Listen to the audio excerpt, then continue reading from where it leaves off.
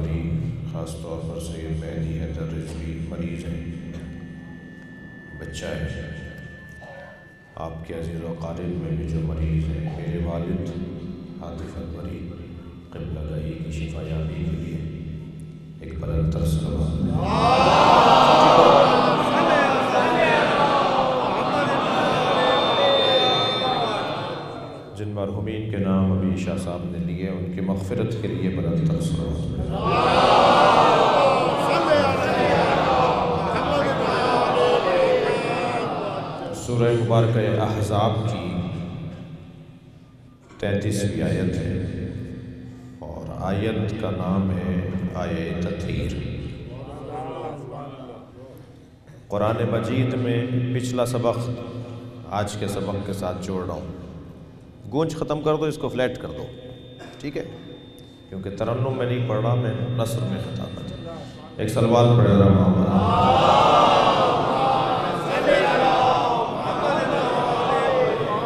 اس سے بہتر اور بلند سلوات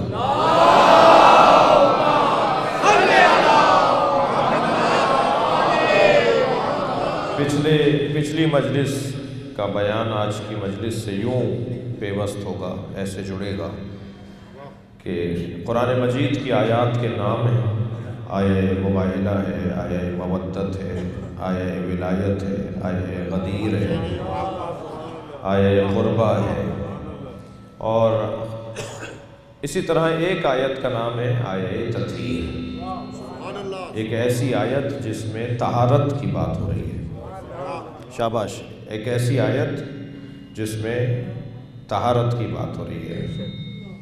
اللہ نے قرآن مجید میں تین طرح کی آیات تطہیر کو نازل کیا ہے۔ ایک آیت ہے بیت کی طہارت کی آیت۔ ایک آیت ہے، اہل بیت کی طہارت کی۔ اور ایک آیت ہے، حضرت مریم کی طہارت کی آیت آیہ تطہیر، یا مریم، ان اللہ استفا کے و تحر کے وصطفیٰ کے علا نسائی العالمین۔ اے مریم، اللہ نے تمہیں منتخب کر لیا، تمہیں صاحب طہارت بنایا اور تمام عورتوں کے لیے منتخب روزگار قرار دیا۔ زیدی سادات کے مورث سے اعلیٰ اور شیعہ تحریکوں کے ایک بہت بڑے سردار حضرت زید بن علی علیہ السلام۔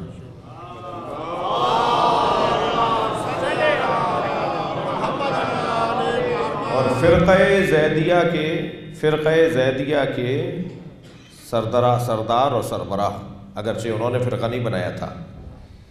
زیدیہ فرقہ جو ہے، حضرت زید شہید کو جو امام سجاد کے بعد امام مانتا ہے، حضرت زید شہید نے نہیں کہا تھا کہ مجھے تم محمد باقر کو چھوڑ کر مجھے امام مانو۔ نہیں، زید شہید کو ان کی شہادت کے بعد امام کہا گیا۔ انہوں نے نہیں کہا تھا مجھے امام کہا جائے۔ تو یمن میں اور بہت سارے ممالک میں جو زیدیہ فرقہ ہے وہ حضرت زید شہید کو اپنا امام مانتا ہے۔ امام محمد باقر کو نہیں مانتے وہ۔ اور شیعہ کہلاتے ہیں وہ۔ یہ اسماعیلی بھی شیعہ ہیں، یا بھوری بھی شیعہ ہیں، زیدیہ بھی شیعہ ہیں۔ جی واقفیہ بھی شیعہ ہیں، مرجعہ بھی شیعہ ہیں، اسنا عشریہ بھی شیعہ ہیں۔ آپ کون ہیں؟ بچوں سے پوچھ رہا تھا۔ سلمان پڑھ رہا ہم جو یہاں بیٹھے ہوئے ہیں، ہم اسنا عشری ہیں۔ ہم بارہ امامی شیعہ ہیں۔ اور ہمارے علاوہ جتنے ہیں، سب بند گلی کا شکار ہیں۔ اس لیے کہ نبی نے فرمایا، میرے بارہ جانشین ہوں گے اور بارہویں پہ قیامت آ جائے گی۔ کسی کے باون ہو گئے ہیں، کسی کے اٹھاون ہو گئے ہیں اور قیامت نہیں آئی اور ہم بارہویں کا انتظار کر کے نبی کے قول کو سچا ثابت کر سلوات پڑھے محمد والے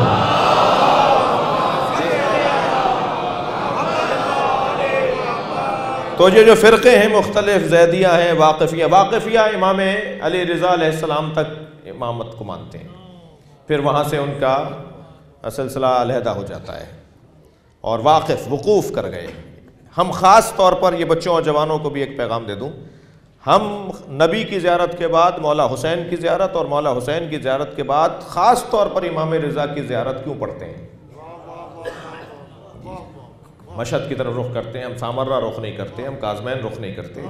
ہم امام رضا کی زیارت خاص طور پر اس لیے پڑھتے ہیں کہ ہم زیارت پڑھ کر بتاتے ہیں ہم واقفیہ نہیں ہیں، اس عشریہ ہیں۔ سلوات پڑھیں گے محمد والے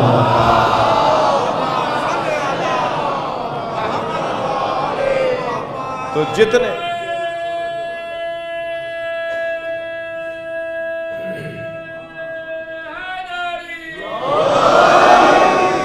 عزیزان گرامی، جتنے زید زیدیہ ایک فرقہ ہے، حضرت یہ سب شیعہ ہیں۔ یہ سب شیعہ ہیں کہ آپ جا کر دیکھیے، یہ جتنے بھی یہ جتنے فرقے ہیں، یہ سب شیعوں کے فرقے ہیں۔ پاکستان کے اندر الحمدللہ ہمارے فرقے نہیں ہیں، اور الحمدللہ ان مسجدوں کا کردار، ان علماء کا کردار، آپ دانشوروں کا کردار، آپ نوجوانوں کی ہمت، ان شہیدوں کے خون کی تاثیر۔ کہ ہم نے پاکستان کے اندر فرقہ نہیں بننے دیا۔ اور اگر کوئی کہتا بھی ہے نا کہ وہ فلاں فرقہ ہے، فلاں وہ فرقہ نہیں ہے۔ تھوڑی سی کونسلنگ سے وہ بات مان لیتے ہیں۔ میں فلاں پر پابندی لگنی چاہیے اور فلاں کو ہم مجلس نہیں پڑھنے دیں گے، اس کا قائل نہیں ہوں۔ میں اس کا قائل نہیں ہوں اور غیر ذمہ دار آدمی بھی نہیں ہوں پیواڑ کی چوٹی سے لے کر کراچی کے ساحل تک۔ پاکستان کا بچہ بچہ جن چند لوگوں کو جانتا ہے، ان میں سے ایک ہی آپ کا نوکر ہے۔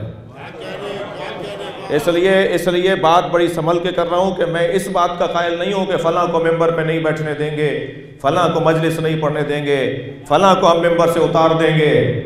یہ باتیں وہاں ہوتی ہیں جہاں گفتگو ہو چکی ہو، گفتگو میں ناکامیاں آ چکی ہوں، ہم نے جد و جہدیں کر لی ہوں، ہم نے آج تک تو ملاقات تک نہیں کی۔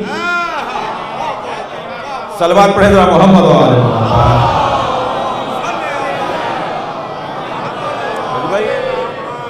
ہمیں بات کرنا ہوگی، گفتگو کرنا ہوگی، ہمیں جاننا پڑے گا۔ بہت بڑا نام ہے اخباری مسلک لوگوں کے اندر، پاکستان میں ایک ہی آدمی پڑھا لکھا ہے اخباریوں میں، تھا، باقی سارے اپنا نام بھی اخباریت میں نہیں لکھنا جانتے۔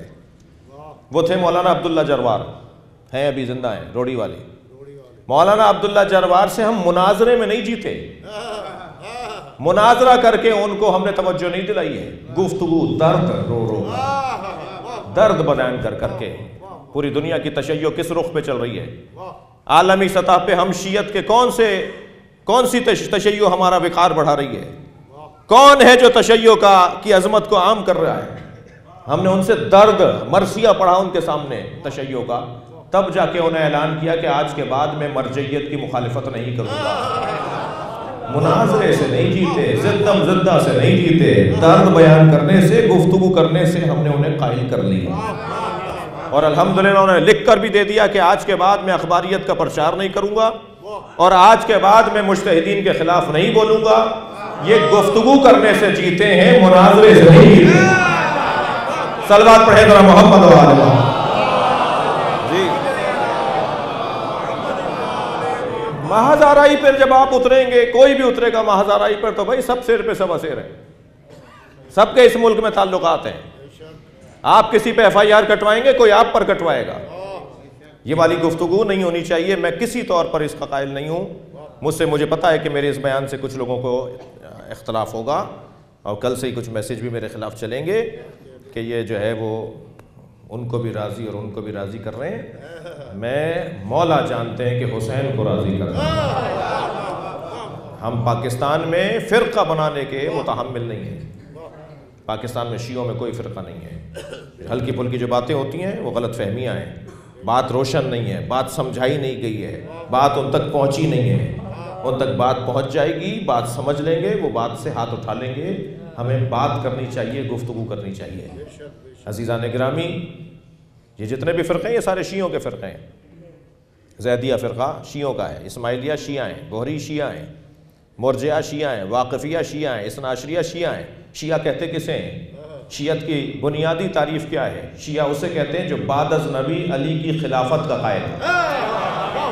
جو مولا علی کو خلیفہ بلا فصل مانے وہ شیعہ ہے۔ اب کوئی چھ تک ہم ہم ساتھ ہیں، کسی کو ساتھ ہم سات تک ساتھ ہیں، کوئی ہم چار تک، ہم پانچ تک ساتھ ہیں۔ مگر یہ طے ہے کہ وہ مولا علی کو پہلا امام اور پہلا خلیفہ مانتا ہو۔ خلیفہ تو بلا فصل کا اعلان اور عقیدہ رکھتا ہو، اسے شیعہ کہا جاتا ہے۔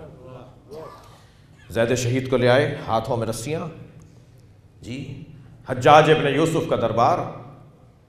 حجاج ابن یوسف، اللہ اکبر۔ کھڑا کر دیا، حضرت زید شہید کو۔ ایک ہونٹ بھی ان کا کٹ گیا تھا، خون نکل رہا تھا۔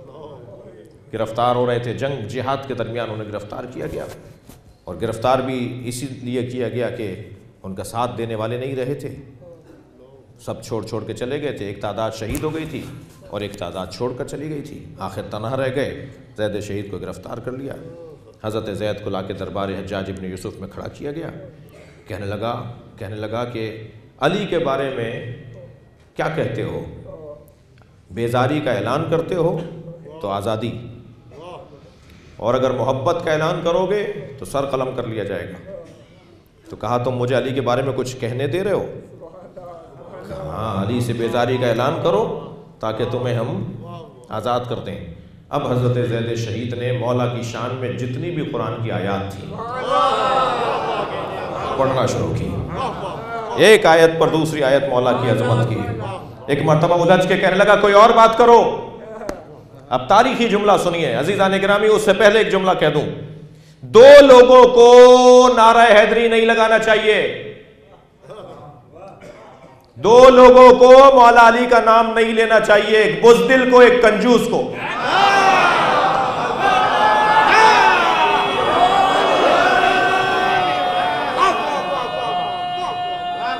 جی۔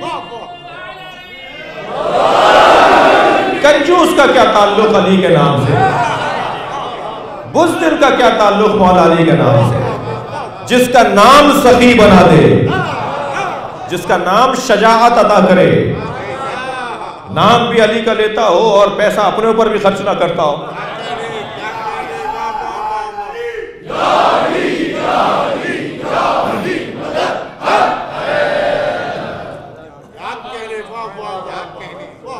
مولا علی کا ایک جملہ حدیث سنا رہا ہوں۔ کنجوسوں کے لیے مولا علی کا ایک فرمان۔ حضرت فرماتے ہیں، کنجوسوں کے لیے۔ حضرت فرماتے ہیں، کنجوس دنیا میں فقیروں کی طرح رہے گا اور آخرت میں امیروں کی طرح حساب دے گا۔ سلوات پڑھے مولا علی کی راہ پر۔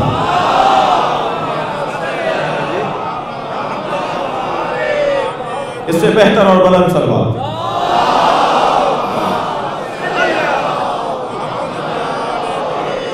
اب دربار ہے صفاق ترین تاریخ کے صفاق ترین شخص کا دربار ہے۔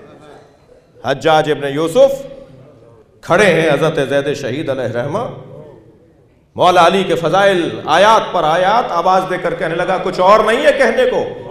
اب جملہ سنیں جو حضرت زید شہید کا جملہ ہے۔ فرماتے ہیں، انہانی ان تلاوت القرآن، تم مجھے قرآن پڑھنے سے روک رہے ہو؟ میں تو قرآن پڑھ رہا ہوں۔ کہنے لگا، یہ تو بتاؤ کہ تم بنی ہاشم اتنے فصیح و بلیغ کیوں کر ہوتے ہو? تم بنی ہاشم اتنے فصیح و بلیغ خطاب کرنے پر آؤ تو تمہارے آگے کوئی بول نہیں سکتا۔ تم اتنے فصیح و بلیغ اتنے ادیب کیسے ہوتے ہو؟ تو بے ساختہ حضرت زید شہید نے فرمایا، ہم دیوان ابو طالب اور خطبہ فاطمہ پڑھ رہے ہیں۔ دیوان ابو طالب ہمیں فصیح و بلیغ بناتا ہے۔ فاطمہ زہرہ کا خطبہ جو فتح کے لیے حضرت نے دربار میں دیا تھا، وہ خطبہ ہم اہل بیت کو یاد کروایا جاتا ہے۔ ہم بنی ہاشم کو وہ خطبہ یاد کروایا جاتا ہے۔ بنی ہاشم کے نصاب تعلیم کا حصہ تھا دیوان حضرت ابو طالب اور خطبہ حضرت زہرہ کہنے لگا، مریم افضل ہے یا فاطمہ؟ میری تمید مکمل ہوئی۔ سلوات پڑھ لیں۔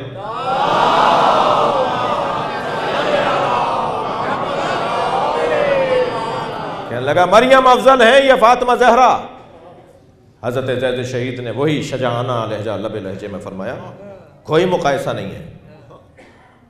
کوئی مقایسہ نہیں ہے۔ فاطمہ زہرا کا مقام حضرت مریم سے بہت بلند ہے۔ اچھا یہ ذہن میں رہے کہ مقایسہ ہم جنس میں ہوتا ہے۔ جی نبیوں کا مقایسہ علی سے ہوگا۔ کسی اور کو علی کے برابر میں نہ بٹھانا۔ احترام سب کا رہے، مگر سب کا سب کے مقام کے مطابق۔ مولا سے مقایسہ کسی کا نہیں ہے۔ مولا کے برابر، میں نہیں کہہ رہا مولا علی نحج البلاغہ میں فرما رہے ہیں، لا یقاسو بیعال محمد احد من حد الامہ۔ ساری امتوں میں سب سے افضل امت امت مصطفیٰ۔ امت مصطفیٰ میں سب سے افضل صحابہ اکرام کن تو خیر امت اخرجت للناس، تم سب سے بہترین امت ہو۔ اس لیے کہ تم امر بالمعروف کرتے ہو نئی المنکر۔ یہ صحابہ اکرام کے بارے میں ان کی شان میں آیت آئی ہے۔ پچاس سے زیادہ آیتیں ہیں اصحاب رسول کی شان میں۔ جی۔ سب امتوں میں افضل ترین امت نبی کی، امت مصطفیٰ میں افضل ترین مقام صحابہ اکرام کا، ان کے لیے علی فرما رہے ہیں۔ لا یقاسو بعال محمد احد من هذه الامه اس امت کے افضل ترین لوگوں کو بھی آل محمد کے برابر میں نہ بٹھانا۔ بھائی جملہ سنے مولا علی کا لہج البلاغہ کا جملہ ہے۔ فرماتے ہیں، اس امت کے افضل ترین لوگوں کو بھی آل محمد کے برابر میں نہ بٹھانا۔ کیفا یصوا من جرت نعمتہم۔ وہ اہل بیت کے برابر کیسے ہو سکتے ہیں جو اہل بیت کے ٹکڑے کھاتے ہوں؟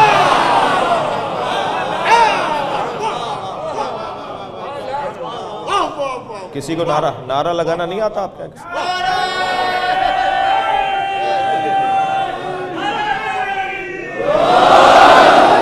یہ ہندوستان۔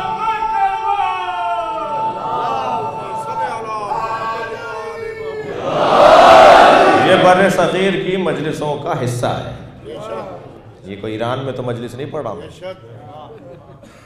کراچی میں وہ بھی باس ٹاؤن میں مجلس پڑھ رہا ہوں۔ تو یہ ہمارے مجالس کا ہے، انداز ہے۔ شاہ صاحب، آپ کے پاس مائک بھی ہے؟ سلوات پڑھ لیں ذرا نبی کے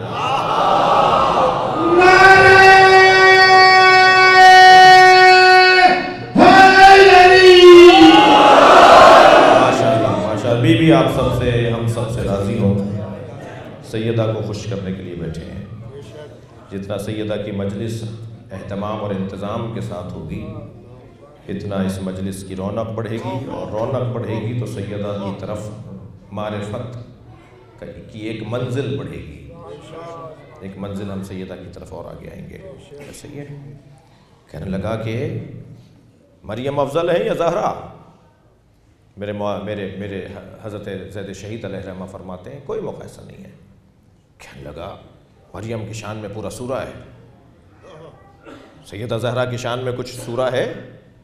زید شہید نے ایک مرتبہ اپنے گرجدار، اپنے دادا، پردادا کے لہجے میں بات کی۔ میرے میرے حضرت زید شہید نے، مولانا زید شہید نے فرمایا کہ مریم علیہ السلام کی شان میں ایک سورہ ہے، زہرا کی شان میں دو سورہ وہ کہنے لگا، کون سے دو سورے؟ حضرت زید شہید نے بے ساختہ فرمایا، سورہ کوثر زہرا کی شان میں، سورہ تہر فاطمہ کی شان میں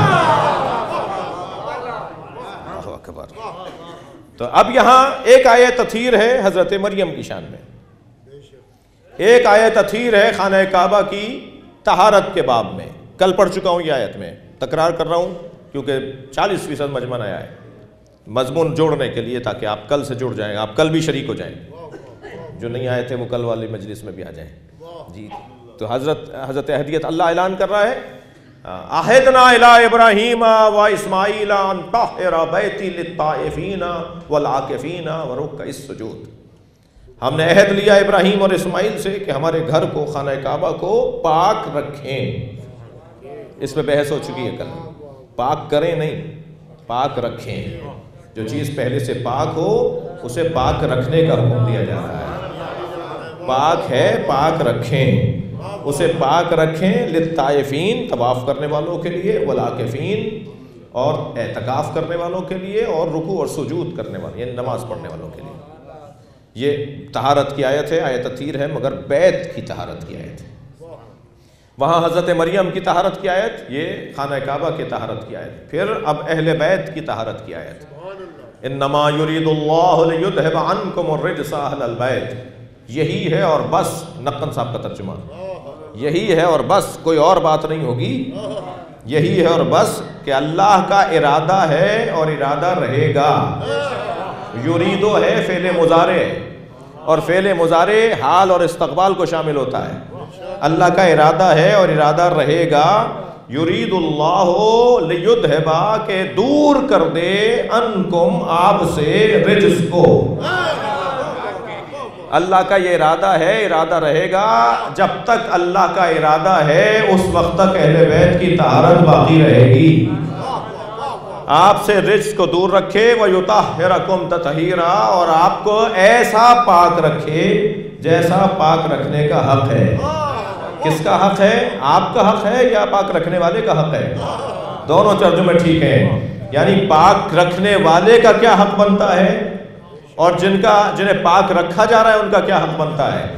میں نے کل کی مجلس میں یہ جملہ کہا تھا کہ آپ کی تنخواہ تو ایک لاکھ روپے ہے، فقیر کو آپ دو روپے پکڑا رہے ہیں۔ تو کہا جائے گا، یہ آپ کا آپ کا شایہ نشان نہیں ہے، آپ کا حق نہیں ہے کہ دو روپے دیں۔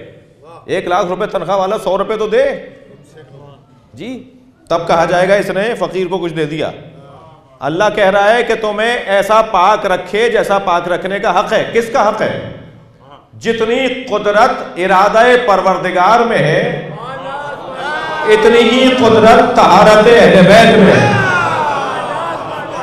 یہ تو حق ہوا اللہ کا۔ صلوات پڑھ رہا محمد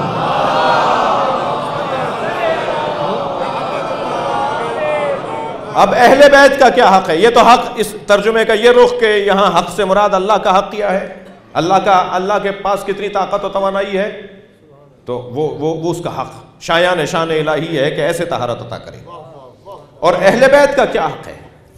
اہل بیت کا حق یہ ہے کہ اسمت اہل بیت، تھکیں گے نہیں میری باتوں سے اسمت اہل بیت، جہاں عظمت اہل بیت کا باب ہے، وہاں ضرورت امت کا باب بھی ہے۔ میری ضرورت ہے کہ دین محفوظ ہاتھوں میں ہو۔ میری اور آپ کی ضرورت ہے، امت مصطفیٰ کی ضرورت ہے کہ دین سالم ہاتھوں میں ہو۔ جن پر مجھے اور آپ کو آنکھ بند کر کے یقین آ جائے کہ جن کے پاس دین ہے، وہ ایک بال برابر بھی اس میں تحریف نہیں ہونے دیں گے۔ تو اسمت اہل بیت، جہاں عظمت اہل بیت ہے، وہاں ضرورت دین بھی ہے۔ مجھے جناب مولانا مفتی منیب الرحمان صاحب نے فرمایا کہ آپ اہل بیت کی عصمت کے قائل ہیں، دلیل کیا ہے؟ الحمدللہ، ہم آئمہ اہل بیت کی عصمت کے باب میں دو سو دلیلیں جمع کر چکے ہیں۔ سو دلیلیں تو، سو دلیلیں تو ہمارے لکھنؤ کے سو سال پرانے ایک عالم دین علامہ کنتوری کی کتاب ہمیں ملی ہے اور ہم اس میں سو دلیلوں کا اضافہ کر چکے ہیں۔ دو سو دلیلیں اب تک آئمہ اہل بیت کی عصمت پر دار التحقیق باب العلم میں کام ہو چکا ہے۔ اور دل کر رہا ہے کہ ایک سنار کی سو لوہار کی، ایک سنار کی وہ والی بات کی جائے۔ جی سو سنار کی، ایک لوہار کی، وہ والی بات کی جائے۔ تو اب، دو سو دلیلیں میرے حساب سے کم ہیں۔ دلیلیں اور بڑھیں گی انشاءاللہ۔ تو ہم ایک صاحب ایک صاحب سے میں نے کہا جی آپ ہمارے خلاف تلواریں اسلحے بندوقیں، گولیاں، دھماکے، بم، خودکشی، یہ ساری چیزیں بند کیجیے۔ ہمارا مقابلہ ان چیزوں سے نہیں ہو سکتا۔ آپ بہت بے وقوفی کر رہے ہیں، آپ ہمارے بدن کو مارتے ہیں، ہم آپ کے نظریے کو مارتے ہیں۔ آپ اپنا نقصان، آپ اپنا نقصان کر رہے ہیں، آپ بے وقوفی کو ثابت کر رہے ہیں، آپ ہمیں مار مار کے مسترب ہیں، ہم مر مر کے مطمئن ہیں۔ لہٰذا یہ اسلحے بند کر دیجیے، یہ اپنی بندوقیں کہیں جمع کروا دیجیے۔ یہ گولیاں، یہ دھماکے، یہ بم وم بنانا بند کیجیے، اس سے ہمارا کچھ نہیں بگڑ رہا۔ بلکہ اس سے ہمیں فائدہ ہو رہا ہے، نقصان آپ کو ہو رہا ہے۔ ایک ایک ملا کی کلپ موجود ہے سوشل میڈیا پر، وہ کہتا ہے کہ پاکستان میں تکفیریوں نے، یہ سپاہیوں نے، سپاہیوں سے مراد بھی آپ سپاہی لیجیے گا، اپنے والوں کو ناراض نہیں کر رہا میں۔ جی یہ یہ جو تکفیری گروپ تھا، ان لوگوں نے جو پاکستان میں شیعوں کو قتل کیا، یہ بہت غلط کام کیا، انہی کا ایک بندہ کہہ رہا ہے۔ اس کا سوشل میڈیا پہ کلپ ہے۔ وہ کہتا ہے، یہ بہت غلط کیا انہوں نے، پاکستان میں نہیں مارنا چاہیے تھا۔ اس لیے کہ ساٹھ سال پہلے امریکہ میں، کینیڈا میں، لندن میں، آسٹریلیا میں، اٹلی میں، فرانس میں ڈھونڈنے سے شیعہ نہیں ملتا تھا۔ آج ان ممالک میں کوئی شہر ایسا نہیں ہے جہاں امام بارگاہ نہ ہو۔ تم نے پاکستان میں انہیں مارا، یہ پوری دنیا میں پھیل گئے۔ تو بتاؤ، نقصان کس کا ہوا اور فائدہ کیسے ہوا ہمارا کوئی نقصان نہیں ہوا۔ جانا تو سب کو ہے، کوئی ہیپیٹائٹس بی، سی میں مرے گا۔ کوئی ہارٹ فیلئر میں مرے گا۔ جی کوئی ایکسیڈنٹ میں مرے گا۔ کوئی کسی بیماری میں مرے گا۔ مرنا تو سب کو ہے، بہتر نہیں ہے، کالے کپڑوں میں دم نکلے۔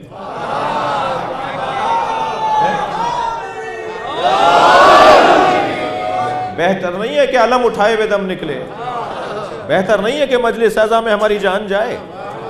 تو الحمدللہ ہم سرخرو ہیں ہم مطمئن ہیں ہمیں کوئی ٹینشن اور تناؤ نہیں ہے۔ تو میں نے اپنے ایک بہت بزرگ مفتی مفتی صاحب سے کہا پاکستان کا بڑا نام ہے نام نہیں لے رہا۔ میں نے ان سے کہا آپ اپنے دوستوں سے کہیں ان کے مدرسے میں جلسے ہوتے ہیں ان کے۔ اتفاق سے سیٹیں ساتھ تھیں ہماری ڈیرہ غازی خان سے کراچی آ رہا تھا۔ زیادہ نشانیاں بتاؤں گا تو آپ لوگ پہنچ جائیں گے۔ تو میں نے ان سے کہا جی آپ اپنے دوستوں سے کہیے کہ یہ اسلحے رکھیں اور ہمارے خلاف قلم اٹھائیں۔ کہنے لگے کیا مطلب؟ میں نے کہا جی ہمارے خلاف کتابیں لکھیں۔ ہمارے خلاف کتابیں لکھیں۔ کہنے لگے، بڑے جگر کی بات ہے، آپ اپنے مخالفت کی دعوت دے رہے ہیں۔ میں نے کہا، مولانا، سوال کا ہونا عیب نہیں ہے، جواب کا نہ ہونا عیب ہے۔ صاحب، آپ ہم پر اعتراض کرو، آپ ہم سے پوچھو، ہم یہ کیوں کرتے ہیں، وہ کیا کرتے ہیں؟ جواب دینا پھر ہمارا کام ہے۔ الحمدللہ، مفتی صاحب بڑا نام ہے، مفتی اعظم ہے پاکستان کے۔ ہم بھی ان کے دیکھے ہوئے چاند کو مانتے ہیں۔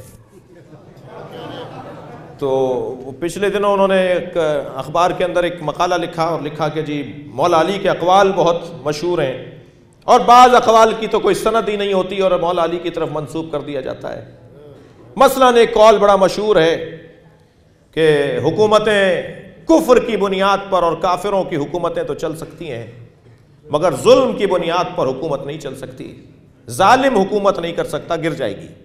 کافر حکومت کر سکتا ہے، یہ مفہوم ہے کہ کفر کی بنیاد پر تو حکومت چل سکتی ہے، مگر ظلم کی بنیاد پر حکومت نہیں چل سکتی۔ کہنے لگا یہ مولا علی کا قول کتنا مشہور ہے جسے دیکھو یہ قول پڑھ رہا ہوتا ہے۔ میں نے ایک قوم کے فاضل عالم دین سے اس کا حوالہ مانگا، تو کئی سالوں سے انتظار کر رہا ہوں، اب تک تو حوالہ ہے نہیں۔ مفتی صاحب نے ایکسپریس اخبار میں اپنے مقالے میں یہ جملے لکھ دیے۔ ہم نے الحمدللہ دار التحقیق باب العلم سے انہیں خط لکھا۔ چار حوالے تو اہل سنت کے بھیجے اور چار حوالے شیعہ کتابوں کے بھیجے۔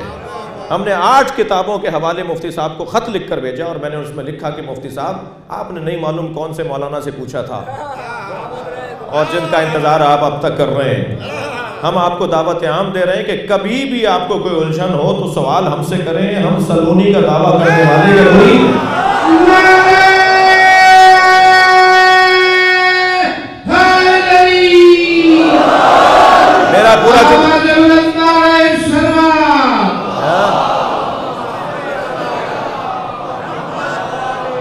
مولا علی کے مرید ہیں۔ جس نے سلونی کا دعویٰ کیا تھا، ہم اس کا نعرہ لگانے والے ہیں۔ جب وہاں بڑے مولا کا مقابلہ نہیں کر پائے، تو ہم ان سے تو ہم ہی نہیں بڑھ لیں تو تو بہرحال انہوں نے شکریہ کا جواب بھی لکھا ہمیں، اور کہا بھی کہ جی آپ کا شکریہ، آپ کا خط ہمیں مل گیا۔ اور میں الملک یبقا مال کفر ولا یبقا ما الظلم، یہ مولا علی کے جملے ہیں۔ مولا علی فرماتے ہیں کہ ملک، الملک یبقا مال کفر ملک کفر کی بنیاد پر باقی رہ سکتا ہے، ملک نہیں ٹوٹے گا۔ ولا یبقا ما الظلم، مگر ظلم کی بنیاد پر ملک باقی نہیں رہ سکتا۔ یہ مولا کا وہ مشہور قول ہے، جس کے ہم نے آٹھ حوالے مفتی صاحب کو بھیجے۔ تو یہاں پر توجہ چاہوں گا، حضرت زید شہید فرماتے ہیں کہ دو آیتیں، دو سورہ سیدہ کی شان میں، ایک سورہ کوثر اور ایک سورہ دہر۔ سورہ دہر، سورہ انسان بھی جسے کہتے ہیں، وہ بھی پورا جناب سیدہ کی شان میں بالآخر جناب زید شہید کو شہید کر دیا گیا۔ اور کیا شان تھی، ان سے اسی مناظرے میں، اسی دربار میں کہنے لگا، تم ہم سے بات کرنے آئے ہو۔ تم ہمارے خلاف بغاوت کر رہے ہو۔ تم ہمارے خلاف لشکر جمع کرتے ہو۔ تم تو کنیز کی اولاد ہو۔ حضرت زید شہید امام سجاد کی ایک کنیز کے بیٹے ہیں۔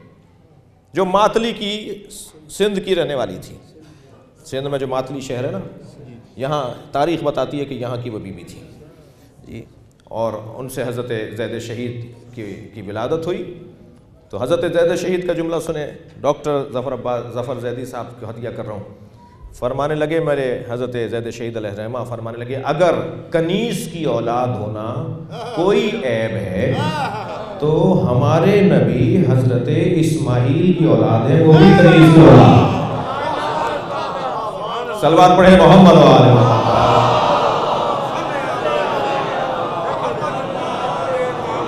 اس سے بہتر اور بلند سلوات نبی کا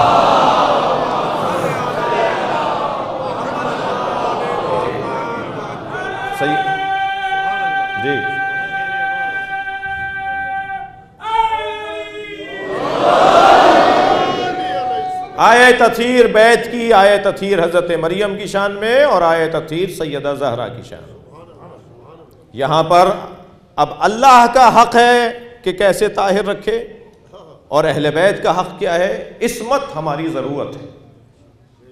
ہم مسلمانوں کی ضرورت ہے۔ دین سالم رہے، جیسا اللہ کا پیغام ہے، ویسا ہی رہے۔ یہ عصمت قبرائے اہل بیت دین کا تقاضا ہے۔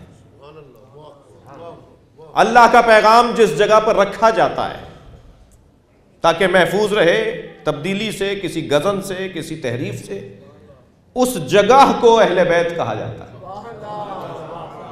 اب ذرا زیارت جامعہ کا وہ جملہ آپ کو لذت عطا کرے گا۔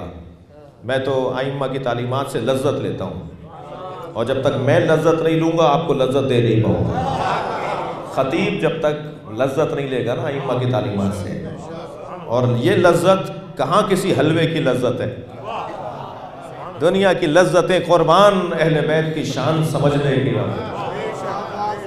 جب اہل بیت کی معرفت کی ایک ایک قطرہ دماغ میں اترتا ہے، ہضم ہوتا ہے، تو اس کی جو لذت ہوتی ہے، شیخ بہائی جن کی قبر امام رضا کے حرم میں ہے، شیخ بہائی جب کوئی علمی مسئلہ حل کر لیتے تھے نا، توجہ ہے۔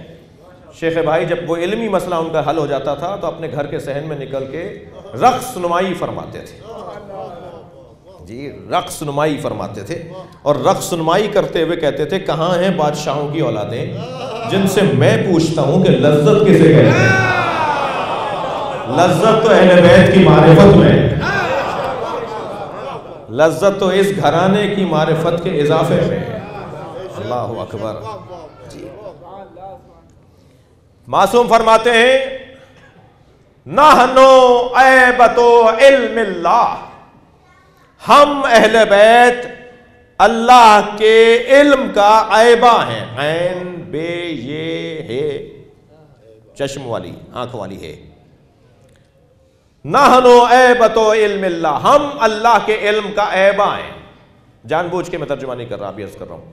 عیبہ ہیں۔ عربی زبان میں لغت میں عیبہ صندوق کو کہتے ہیں۔ اور صندوق بھی معمولی صندوق نہیں، جہاں قیمتی ترین چیز رکھی جائے۔ بلا تشبیہ مجھے معاف کریں گے، ممبر کی زبان کیا کریں کہ ہمارے پاس الفاظ کی کوتاہی ہے، ہمارے پاس الفاظ کی کمی ہے۔ تو جس کو آج آپ زبان میں کہتے ہیں تجوری۔ قیمتی چیزیں جہاں رکھی جاتی ہوں، لاکر، تجوری، جہاں مہنگی چیزیں رکھی جاتی ہیں ان کے تحفظ کے لیے۔ اللہ جہاں اپنا علم رکھتا ہے، اس جگہ کو اہل بیت کا ہے۔ سلوات پڑھیں عظمت اہل بیت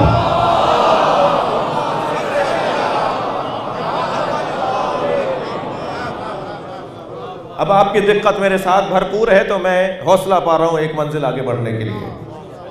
مولا علی فرماتے، یا رسول اللہ، آج میں نے زہرا سے کہا، تال لیا قریب آئیے، انی عالم ما کان وما یکون۔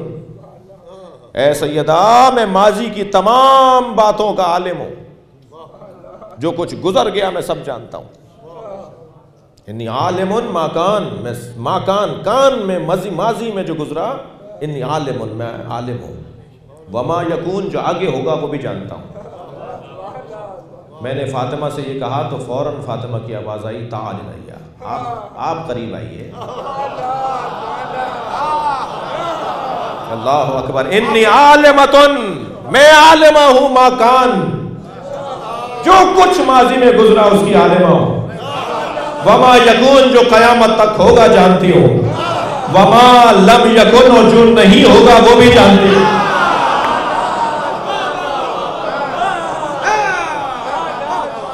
مولا فرماتے میں الٹے پیر واپس ہوا۔ اور میں نے نبی سے کہا، یا رسول اللہ، فاطمہ نے یہ بھی کہہ دیا کہ میں وہ بھی جانتی ہوں جو نہیں ہوگا۔ اب میں اپنے استاد کی خدمت میں گیا کہ مولانا حضرت آیت اللہ باقر فخار اس وقت اسفہان میں جن کا درس خارج ہے اور عرفہ میں سے ہیں، استاد اخلاق تھے ہمارے اور اس وقت مراجے میں سے ہیں یعنی جن کی، جن کے درس خارج بہرحال ہے مراجے نہ صحیح، مگر مجتہد، مجتہدین میں سے ہیں۔ ابھی پچھلے دنوں جب میں ان کی خدمت میں جب گیا زیارت کے لیے تو استاد کی زیارت کرنے بھی میں اسفہان گیا۔ تو کوئی دو گھنٹے مجھے اٹھنے نہیں دے رہے تھے پھر میں ان کا نالائق شاگرد نہیں تھا۔ تو تو ہم ان کے ان کے پاس رہے بہت دیر تک۔ قم سے پوری بس میرے ساتھ کہ ہم بھی چلیں گے، ہم بھی چلیں گے۔ ہمارے جو سینئر جونیئر دوست تھے وہ بھی ساتھ گئے۔ تو ڈاکٹر صاحب، دو گھنٹے میں ان کے پاس رہا۔ بزرگی کی وجہ سے وہ پیر سیدھا کر لیتے تھے گھٹنے کی تکلیف کی وجہ سے، اور ٹیک لگائے ہوئے تھے تکیے سے۔ لیکن جب بھی بی بی کا نام آتا تھا، تو پہلے پیر کھینچتے تھے، سمیٹتے تھے۔ کمر سیدھی کرتے تھے۔ ٹیک لگا کے بات تو نہیں ہوگی نا؟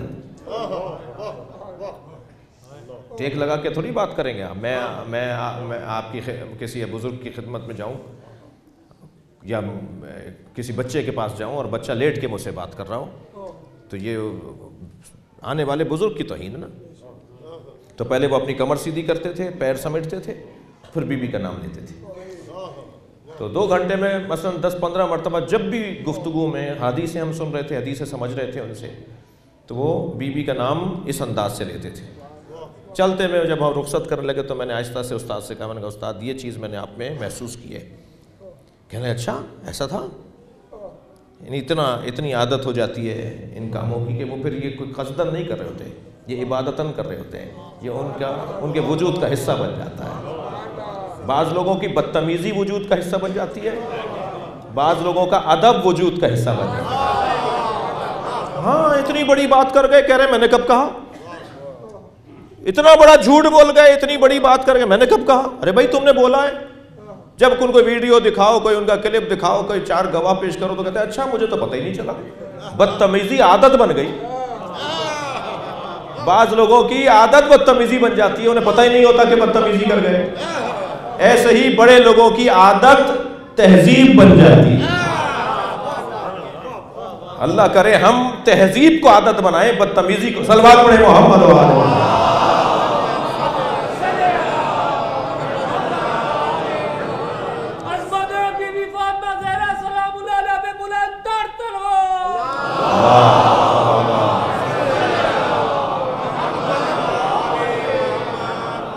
توجہ کر رہے ہیں؟ میں نے کہا، استاد، آپ ایسا کر رہے تھے بی بی کا نام لیتے ہوئے آپ کا یہ انداز تھا. بڑا حسین جملہ کہا۔ ہدیہ کر رہا ہوں سرکار کی مجلس میں۔ فرمانے لگے، گردن جھکانے کا، گردن جھکانے کی عادت ڈالو۔ اس لیے کہ قیامت میں یہ کروایا جائے گا۔ محشر میں یہ کروایا جائے گا۔ فاطمہ آ رہی ہیں گردن جھکاؤ۔ خود ابصارکم حدیث تو کہہ رہی ہے، آنکھوں کو بند کرو۔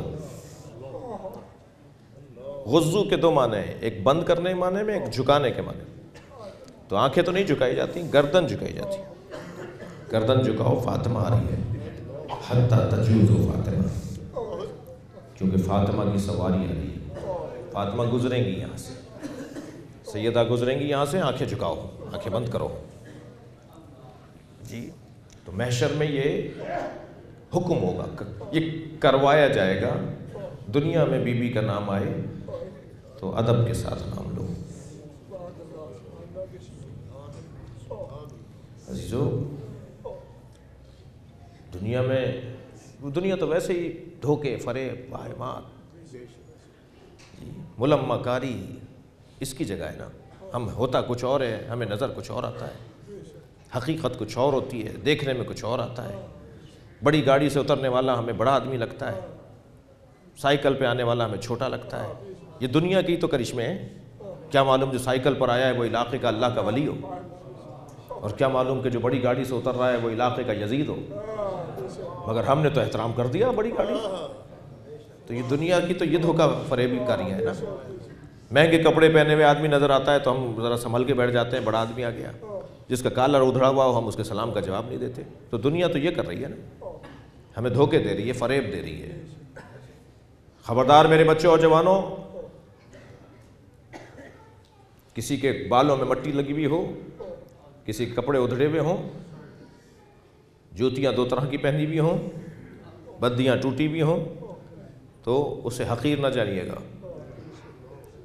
ابواب حدیث میں ایک حدیث ہے، ربا اش اغبرا متفو ان بال جن کے بالوں میں مٹی لگی ہوئی ہو، جن کے کپڑوں پر مٹی لگی ہو، جن کے کپڑے پھٹے ہوئے ہوں، جنہیں دروازوں سے دھتکارا جا رہا ہو، ان کا خیال رکھنا۔ اس لیے کہ ایسے لوگوں کا تار اللہ سے جلدی جڑتا ہے۔ ایسے لوگوں کا اپنے رب سے تعلق جلدی جڑ جاتا ہے۔ ان کو تکلیف نہیں دینا۔ یہ پورا باب ہے اس اس با اس میں حدیثیں ہیں۔ جی۔ ایک ایسا ہی فقیر بازار سے گزر رہا جیسے آپ کا یہ بات رستہ ہے نا دکانیں بھی ہیں۔ ایک دودھ والے کی دکان کے سامنے سے گزرا۔ تو اس نے آواز دے کر کہا، دودھ پیو گے؟ تو پہلے تو دکان کو اچھی طرح دیکھا۔ دیکھنا بتا رہا تھا کہ یہ دکان اس قابل ہے کہ اس سے دودھ پیا جائے۔ یہ اس طرح کے لوگ ہوتے ہیں۔ تو پہلے تو اچھی طرح دکان کو دیکھا، پھر کہنے ہاں پلا دو۔ اس نے کاسا بھر کے، ایک ڈونگا بھر کے کٹورا بھر کے دودھ کا دے دیا، اس نے دودھ پی لیا۔ دودھ پی کے دو قدم آگے بڑھا تو رستے میں ایک پانی پڑا ہوا تھا، اس کا پیر گڑھے میں گیا، اس پانی میں کیچڑ میں۔ تو وہ چھینٹیں اڑیں۔ تو گلی کے کونے پہ دو آشنا باتیں کر رہے تھے۔ ایک لڑکا، ایک لڑکی۔ جی آشنا باتیں کر رہے تھے۔ تو لڑکی کے منہ پہ جا کے وہ چھینٹیں لگیں، وہ کیچڑ جا کے لگی۔ تو اسے تو کچھ برا نہیں لگا جس کے چھینٹیں لگی تھیں، انہیں برا لگا جو آشنا تھے۔ دو قدم آگے بڑھے اور دو چار تھپڑ مارے ان کو۔ تمہیں نظر نہیں آتا؟ دیکھ کے نہیں چلتے۔ تو ایسے آنکھوں کو آسمانوں کی طرف لے جا کے کہنے لگے، دیکھتے کہنے یا اللہ، عجیب داستان ہے۔ کہیں دودھ پلواتا ہے، کہیں تھپڑ لگواتا ہے۔ اور فقیر کا کہنے لگے، کہیں دودھ پلواتا ہے، اسی وقت تھپڑ بھی لگواتا ہے۔ اب یہ جملہ کہا تھا کہ وہ عورت لڑکی زمین پر گری، تڑپ تڑپ کر مر گئی۔ وہیں دیکھے دیکھتے مر گئی۔ وہاں جو لوگ چل رہے تھے، دیکھ رہے تھے، وہ ان میں سے لوگ کچھ آگے بڑھے، تم تو بڑے اللہ کے ولی ہو۔ تم نے بد دعا کی، عورت مر گئی۔ کہنے نہیں نہیں نہیں، میں نے کسی کو بد دعا نہیں دی۔ دو یاروں کا مسئلہ ہے۔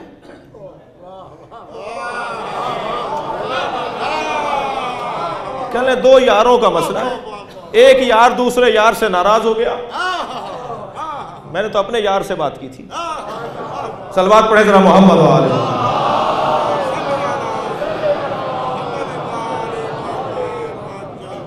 تو خبردار کسی کو اس ہولیے میں دیکھ کر، واللہ یہ ہمارے بڑی گاڑیوں میں بیٹھنے والے لوگ۔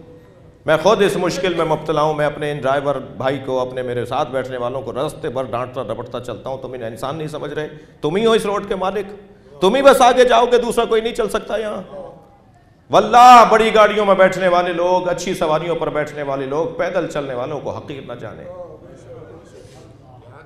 بڑی مشکل ہے، بہت مشکل ہے۔ کبھی کبھی تو ڈاکٹر صاحب دل کرتا ہے، سب کچھ چھوڑ کر کسی جنگل میں بس جاؤ اس لیے کہ ہم یہاں رہتے ہیں۔ تو ہم مثلا مجلس پڑھنے والے ہیں، خطیب ہیں، فلاں قومی خدمت گزار ہیں، نوکر ہیں آپ کے، تو کہیں جانا آنا بھی پڑے گا۔ جانا آنا پڑے گا، کوئی ادارے بنانے پڑیں گے، آفس بنانے پڑیں گے، کہیں بیٹھنا پڑے گا۔ آئیں جائیں گے تو رستے میں کسی کا حق ہم سے پامال ہو سکتا ہے۔ مگر یہ جو بندہ جس کو ہماری وجہ سے روک دیا گیا، یہ قیامت میں ہمیں رکوا سکتا ہے۔ کھڑا ہو جائے گا کہ پہلے میں جاؤں گا۔ اس نے مجھے رکوا دیا تھا رستے میں۔ میں بڑی مشکل میں، ہم جیسے لوگوں کو بس کرم اللہ کا اور اللہ ہی ان کے دل میں ڈالے گا کہ یہ معاف کریں گے ہمیں۔ کیونکہ واللہ ممبر پہ بیٹھا ہوں بیوی کو راضی کرنے کی کوشش کر رہے ہیں۔ کہ کوئی غرض نہیں ہے، کوئی غرض نہیں ہے سوائے خدمت کے۔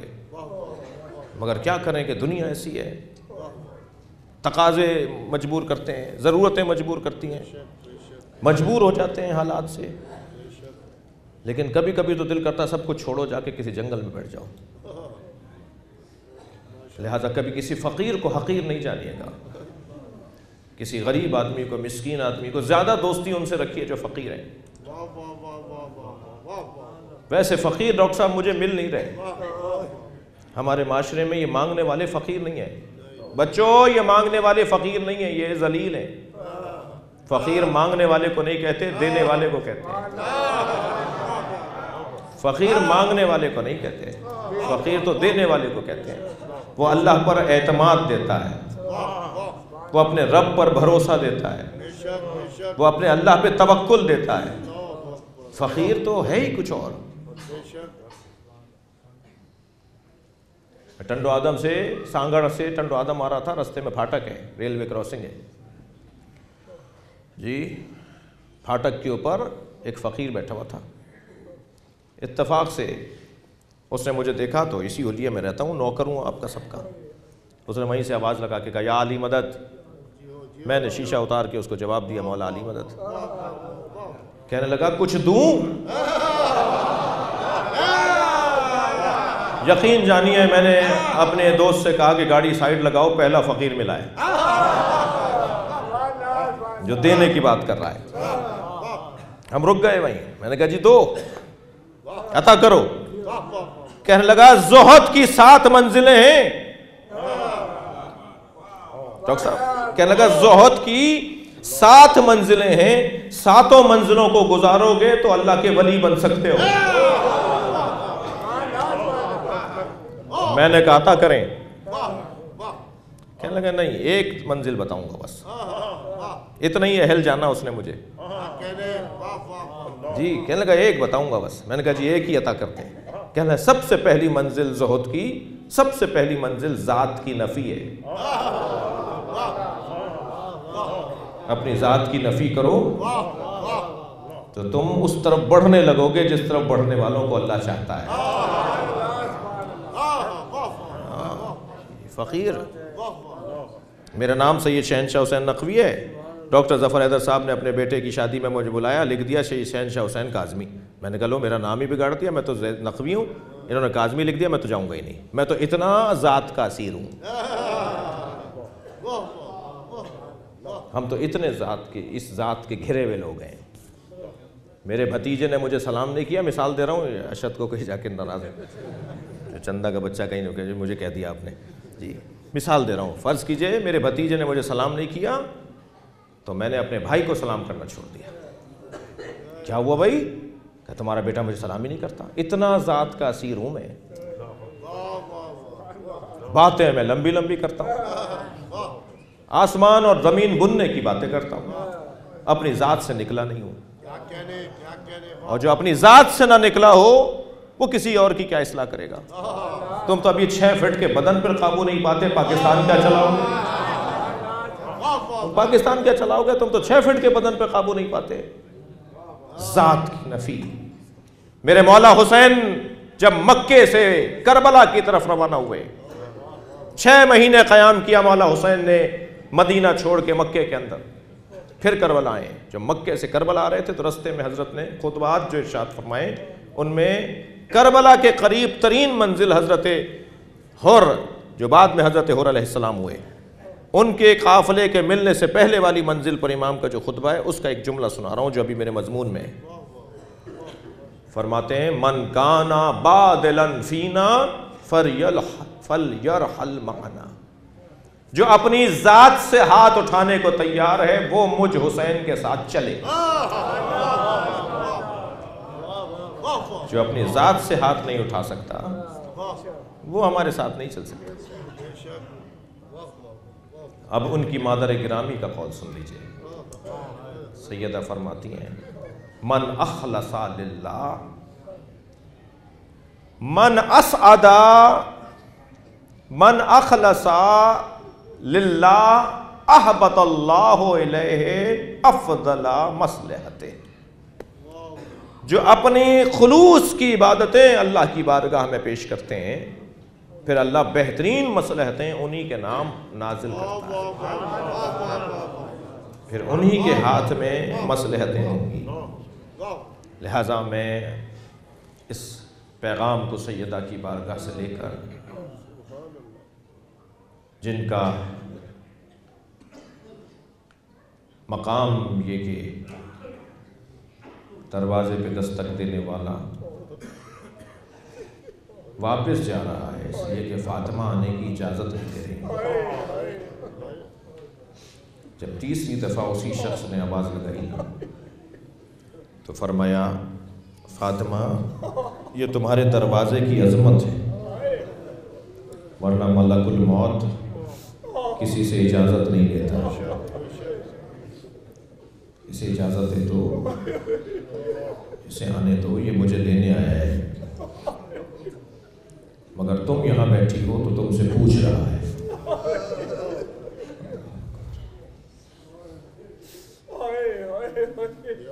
اسی دروازے کو جلا دیا۔ اجرکم اللہ، یہاں میں فاطمیہ ہے۔ اسی دروازے کو آگ لگا دی جس پہ ملک الموت ٹھہر جاتا جس پہ جبریل کھڑے ہو کے سلام کرتے ہو۔ عزدارو کہاں سے باب مصیبت کو شروع کروں؟ اتنا طے ہے، اتنا طے ہے کہ اس بی بی کے ساتھ وہ ہوا جسے نبی یاد کر کر کے روتے رہے۔ مولا علی نے جناب زہرا کا مرثیہ پڑھا۔ مولا حسن نے اپنی مادر گرامی کا مرثیہ پڑھا مولا حسین اپنی مادر گرامی پہ روتے رہے۔ ہر امام معصوم نے جناب زہرا پہ گریا کیا۔ مگر میرا دل کر رہا ہے کہ نبی نے اپنی بیٹی پر کیسے مرثیہ پڑھا۔ وہ بیان کر کے ایک منزل لوں۔ اللہ اکبر۔ پانچ سال کا سن ہے۔ بی بی زہرا گزری۔ نبی نے دیکھا تو رونے لگے۔ آنکھوں میں آنسو لے آئے۔ بیٹھی ہوئی ایک بی بی نے کہا، یا رسول اللہ، فاطمہ کو دیکھ کے رو رہے ہیں۔ اہل سنت کے عالم علامہ الجوینی فرائد السمتین میں اس روایت کو لکھ رہے ہیں۔ ڈاکٹر طاہر القادری صاحب کو جو ہم نے چالیس کتابیں کھول کھول کے دکھائی ہیں نا کہ یہ اہل سنت کے علماء کی کتابیں یا آپ کے بڑوں نے لکھا ہے کہ بی بی کے ساتھ کیا ہوا۔ ان کتابوں میں ایک کتاب فرائد السمتین ہے۔ علامہ الجوینی کی کتاب ہے۔ اس میں لکھا ہے کہ نبی نے جب بی بی کو دیکھ کر گریا شروع کیا، تو ایک بی بی نے کہا کہ آپ زہرا کو دیکھ کے رو رہے ہیں۔ تو نبی نے فرمایا، ہی نماز کرت جب بھی فاطمہ کو سوچتا ہوں، تو میرے ذہن میں آتا ہے، ماں وقع بادی اس پر میرے بعد کیا گزرے میں جب فاطمہ کو سوچتا ہوں اجر کمل اللہ ایک ایک جملہ مرثیہ ہے مکمل جب میں فاطمہ پہ غور کرتا ہوں تو سوچتا ہوں کہ میرے بعد میری زہرا پہ کیا گزرے گی۔ جملہ سنیں گے قد دخلت دلو بیتا میری فاطمہ کے گھر میں ایک بڑی مصیبت داخل ہوگی۔ انتہاکت حرمت ہوا جو اس کی حرمت معمال کرے گی۔ میں ایسے آگے نہیں بڑھوں گا جنہیں رونا آ رہا ہے، اپنی آوازوں کو آزاد کرے میں آپ سے ایک سوال کر رہا ہوں۔ نبی فرما رہے ہیں کہ انتہاکت حرمت ہوا جو فاطمہ کی حرمت کو پامال کرے کچھ دیر کے لیے اپنے گھر جائیے، ذہن میں بیٹھے ہوئے، ذہن میں گھر میں جائیے۔ آپ کے گھر میں آپ کی زوجہ بھی ہے، آپ کی ماں بھی ہے۔ کوئی اجنبی شخص آپ کے گھر میں داخل ہو۔ آپ کی غیرت کیا کہتی ہے؟ آپ پر کیا گزرتی ہے؟ اور اجنبی شخص اندر آ کے معافی مانگ کر واپس نہ جائے۔ یہ نہ بولے کہ مجھ سے غلطی ہو گئی۔ میں تو کہ اپنے گھر میں جا رہا تھا، یہ برابر والے میرے عزیز کا گھر ہے۔ میں غلطی سے آپ کے گھر میں آ گیا۔ وہ یہ نہ کر رہا ہو، بلکہ تازیہ نہ اٹھا رہا ہو۔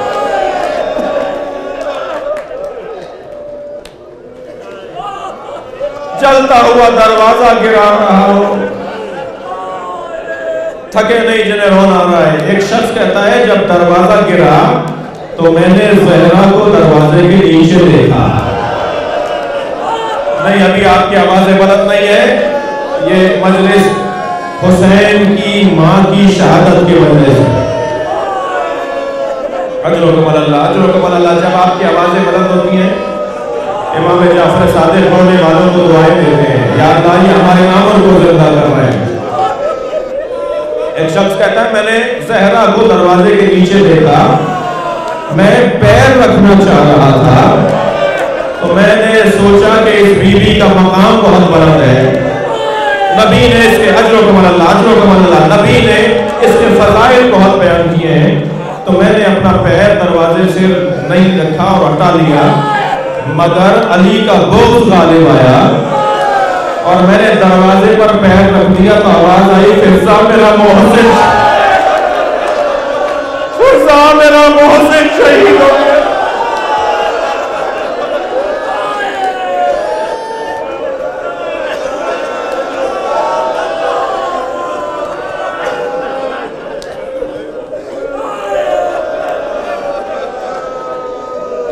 اجرکم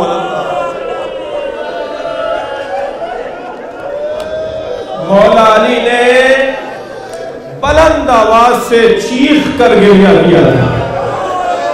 جب سلمان نے کہا نا مولا، آپ تو صابر امام ہیں، آپ کے رونے کی آواز گلی میں آ رہی تھی تو فرمانے لگے، سلمان، جب میں نے زہرہ کو غسل دیا تو دو پسلیاں ٹوٹی ہوئی۔ سلمان، زہرہ نے مجھے نہیں بتایا۔ میں ایک جگہ مجلس پڑھ رہا تھا، وہاں ایک، جیسے آپ لوگ رو رہے ہیں، ایسے ایک شخص بہت روتا رہا، بہت رویا۔ بعد میں معلوم ہوا وہ ڈاکٹر ہے۔ اس سے پوچھا، بھائی، تم بہت روئے۔ کہنے لگا کہ پسلیاں جب ٹوٹ جاتی ہیں تو انہیں جوڑا نہیں جاتا۔ وہ سانس لینے میں بھی درد کرتی ہے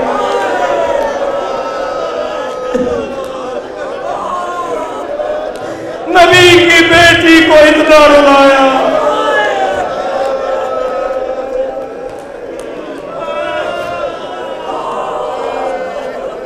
انتہا حرمت اس کے گھر میں داخل ہو کر اس کی حرمت پامال کی جائے گی۔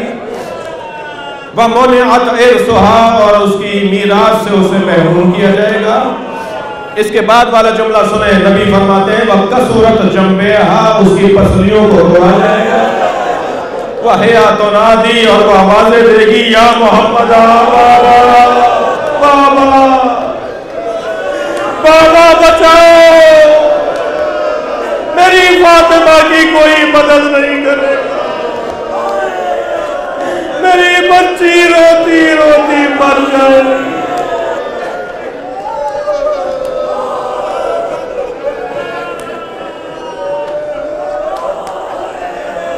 اللہ لعنت اللہ علی فسيعلم الذين ظلموا أيهم اللہ یا اللہ ان اقوالوں پر رحمت کر امام زمانہ کے ظہور میں تعجیل فرما یا حسین۔